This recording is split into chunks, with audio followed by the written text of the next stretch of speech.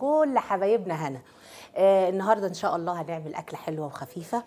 آه جات لنا كمان أكلة حلوة قوي من حبيبتنا الست ليلى على الفيسبوك. قالت لي يا غالية اعملي بطاطس المبطنة. البطاطس المبطنة. طبعا آه أنا غالية بتتعلم من كل حبايبها وقلت قبل كده كل اللي عندها أي أكلة تبعتها لي بمقاديرها على الصفحة الرئيسية بتاعتنا على الفيسبوك وإن شاء الله نجربها مع بعض وتطلع حلوة. آه فهنعمل النهارده البطاطس المبطنة. دي أساسا أكلة ليبي.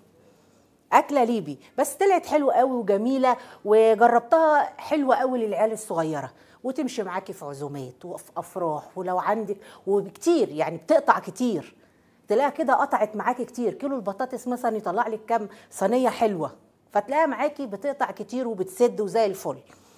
هنعمل البطاطس المبطنة ودي أكلة ليبية وبنشكرها على الأكلة الحلوة اللي بعتتها لنا. وهنعمل وبحيي ليبيا وأهلها وناسها كلهم. وبحيي كل ضيوفي كمان اللي جوني من ليبيا وشرفوا مطبخي. وهنعمل النهارده شعرية قالب شعرية بالكبد والقوانص ومعاه البصل والخضرة. والفلفل يعني في خضار وفي شعرية. بيبقى حلو برضو في الأكلة كلها على بعضها حلوة برضو للكبار وللصغيرين. وعاوزه أقول لكم كمان قبل ما أبدأ في أي حاجة استنوا النهارده كمان معانا ضيف إن شاء الله هيعجبكم. إن شاء الله. أهلنا وحبايبنا وإخواتنا وجيراننا.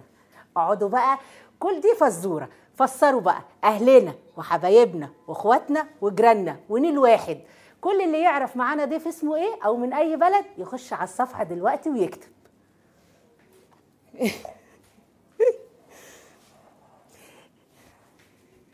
معانا النهارده ضيف من السودان إن شاء الله هيعمل لنا أكلة جميلة قوي ومشهورة قوي في السودان.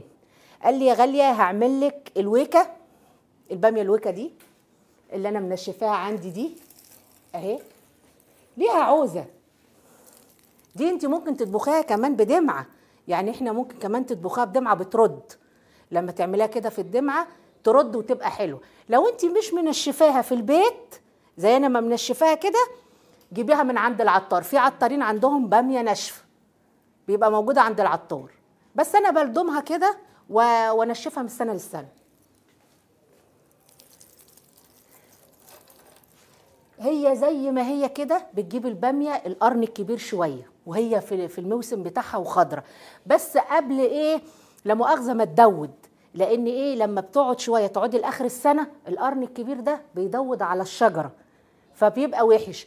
قبل بقى ما تخش في آخر السنة وبيبقى مخشب حبتين فقبل ما تخش في آخر السنة تروحي جايبة لك شوية بامية كده القرن الوكا الحلو وتروحي لضمهم في خيط. زي العقد بالظبط وتعلقيهم في حتة ظل من الشمس يعني تعلقيهم كده في المطبخ من جوه في حتة ظل وبرده يكون فيها هواء عشان الشمس هتسودها لو لطشتها الشمس هتسود. فتنشف على أبوها كده. تبقى زي الفل.